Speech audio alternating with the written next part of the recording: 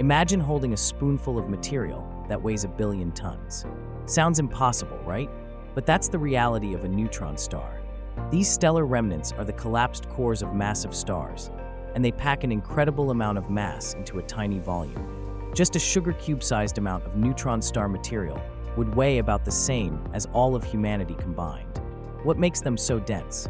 Neutron stars are primarily composed of neutrons, which are tightly packed together due to the immense gravitational forces at play.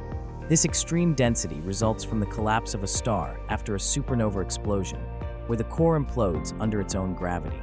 The gravitational pull on a neutron star is so strong that if you were to stand on its surface, you'd weigh over 400 billion times more than you do on Earth.